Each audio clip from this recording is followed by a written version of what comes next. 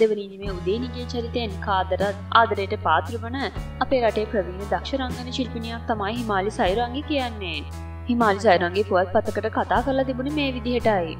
පුංචි තිරයට පෙම්වති වුණාට හිමාලි මවක්. දෝ තනි කළ රංගන කටයුතුරු නිය එන්නේ කොහොමද. හැම අම්ම කෙනෙක්ට වගේම මටත් ඔය ප්‍රශ්නය තිබුණා.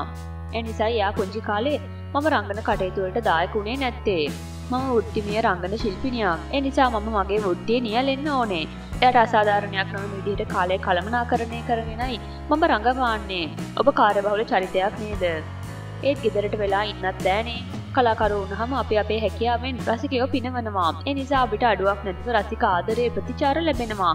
ඒ කිසි දෙයක් නැතුව ගේ ඇතුළටම වෙලා ඉන්න අමාරු ඒකයි. එනිසයි දරුවටත් අසාධාරණයක් කරන්න නැතුව මගේ හැකියාවටත් අසාධාරණයක් කරන්න නැතුව හෙමිහිට වැඩ කරන්න යන්නේ. එක මාරක චරිතවලට කොඩුනොවී විවිධ චරිතවලින් හිමාලිව අපිට හමුවනවා. ඒ ඔබේ තියෙන චරිත තෝරගන්න දක්ෂතාවය හින්න නේද? මම හිතන්නේ ඒක වාසනාව. තෝරගන්නත් විවිධ චරිත හම්බෙන්න ඕනනේ. මාව එකම චරිතයකට කොටු කරන්න කිසිම අධ්‍යක්ෂකවරයෙක් සූදානම් නැහැ. එනිසා චරිතාංග නිලයක් වෙන්න මට පුළුවන්කම ලැබුණා. ඒත් හැමෝට මේ වාසනාව හිමිවෙන් නෑ නේද? එකම චරිතයකට කොටුණු බොහෝ දෙනෙක් චෝදනා කරන්නේ අධ්‍යක්ෂකවරුන්ට තමන්ට ලැබෙන පුංචි චරිතයට හරි සාධාරණයක් විෂ්ට කරන්න පුළුවන්නම් තමන්ගේ දක්ෂතාවය පෙන්වන්න පුළුවන්. කාඩවත් චෝදනා කරන්න අවශ්‍ය වෙන්නේ නෑ. ඒ අධ්‍යක්ෂකවරුන්ගේ වරදක් නෙමෙයි අපේ වරද. ගෙමි චරිතවලින් මිදිලා අපි ඕනා වෙලා හිමාරි නාගරික චරිතයක් කරන්න පුළුවන් කියලත් ප්‍රේක්ෂකයින්ට පෙන්නවා. තවත් කරන්න ආසාාවෙන් ඉන්න චරිත තියෙනවද? මං හරි ආසයි දෘෂ්ටයාගේ චරිතය කරන්න. ඒක මගේ හීනයක්. අහිංසක කවන්තක් අපුරුකම ගෑබිලාවත් නැති මුණකින් දෘෂ්ටි චරිතයකට සාධාරණයක් ඉට කරන්න පුළුවන්ද? ඒක තමයි අභියෝගේ මං ඇතුළේ ඉන්නේ. මම මං ඇතුළේ ඉන්න දුෂ්ටාට එලියට එන්න දෙන්නේ නැතුව වහගෙන ඉන්නේ. අවස්ථාව මට පුළුවන් එයාව එලියට ගන්න. එතකොට කවුරුත් හිතන එකක් නෑ. හිමාලි අහිංසක කෙනෙක් කියලා. ඒක ප්‍රතිරූපයට හානියක් නෙවෙයිද.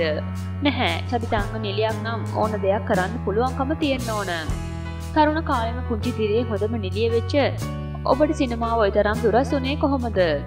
සිනමාවෙන් අවස්ථා නොලැබුණා නෙවෙයි හැබැයි ඒ අවස්ථාව ප්‍රබල නෑ සිගුරු හතෙන් පස්සේ දැනෙන කතා බහට ලක්වන චරිතයක් කරන්න අවස්ථාව ලැබුණ නැහැ සුනම් චිත්‍රපටයට තමයි එමම ළඟදි සිනමාවති දායක වුණේ. මං හිතන්නේ එක මගේ ලැබීම වෙන්න ඇති. හිමාලි කියන නිලියට කලින් මිනිසු ආදරය කරේ ඇස්වලින් කතා කරන ආකර්ශණය රූපවාහිනි නිවේදිකාවට. දැන්ගේ නිවේදිකාව කෝ? ඉන්නවා ඉන්නවා. මං හුඟ කාසාාවෙන් ඉන්නේ. ආපහුේ නිවේදිකාවට අලුත් පනක් දෙන්න. ආපහු රූපවාහිනී වැඩසටහන් කරන්න කැමති නැද්ද? කැමති හැබැයි හායි. හලෝ බායි වගේ කතා කරන වැඩසටහන් නම් කරන්න කැමති නැහැ. අපිටත් වැඩක් වෙන රටක් වැඩක් වෙන වැඩක් කරන්න අකමැත්තක් නෑ ජීවිතේ දිහා ආපසට හැල්ල බලන්නකොට ආපුතුර ගැන සතුටුයිද? නිවේදනය ගායනය රංගනය නර්තනය මේ හැම දෙයක්ම එකම කෙනෙක්ට පිහිටන්නේ බොහොම කලාතුරකින්. ඒ දුර්ලභ වාසනාව මට තියෙනවා. ඒගෙන මං අද අප්‍රමාණව සතුටු වෙනවා. පුංචි දෝනි බන් සෙනල්ලයා ලොකු මහත් වෙලා අම්ම වගේ නිලියක් වෙන්න ඕන කියලා කිව්වොත් මොකද කරන්නේ? කිසි ගැටලුවක් නෑ. මම යාට යාගේ කැමැත්තට ඉඩ දෙනවා.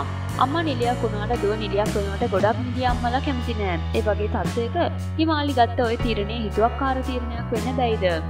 තමන් හොඳනම් ඕන කෙනෙක්ට ඕන තැනක ඉන්න පුළුවන්. එකනෙක් දෙන්නෙක් කරන වැෑද නිසා තමන්ගේ ශේෂත්‍රයේ බාල්දු කරන්න හොඳ නැහැ. මං මගේ දුවට හරි පාර පෙන්න්නනවා එයාට පුළුවන් එයාගේ බුද්ධියෙන් ඒ ගමන යන්න. එයාගේ තාත්තත් අම්මගේ තීරණයට කැමති වෙයිද? ඒක නම් මම කියන්න දන්නේ නැහැ. මම කිව මගේ තීරණය ගැන කියලායි ඇය කියලා තිබුණේ.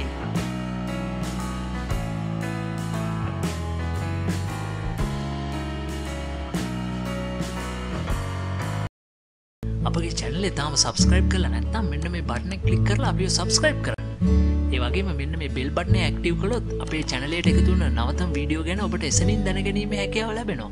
ඒවගේ අපගේ ෆෙස්බුක් පිටුවට පිවිස අප ලයි කිරීමට දමතක් කරන්න එපා.